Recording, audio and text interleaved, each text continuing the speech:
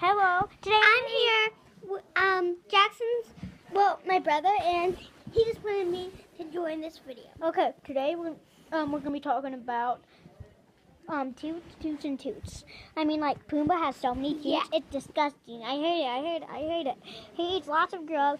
He scare off bad hyenas, but he toots a lot. That's his big career. He And big, he stinks a lot. Yeah, cause he's a warthog. It's kind of like a pig. Anyway, Yeah, I met Simone a lot before. So. I know. Like so, just beware of his toots. Toot out.